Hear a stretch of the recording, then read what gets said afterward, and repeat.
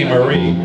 If you call her Annie Mae one time, apparently it sticks though. Bring that mic up here and do a number. You got something good to do, I know. I didn't want to follow high school confidential, I think so.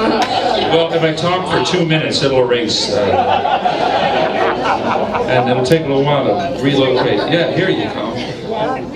We, we've been doing all these shows and you haven't been on them. This is the first show that uh, that you flew in and, and Yeah. you're doing the rest of the week. So this is obviously the best show. This is the best show, so we made special. It is about you. We made special preparation for tonight by going out and getting shit faced last night, right? We're ready to rock right here. Semi should be.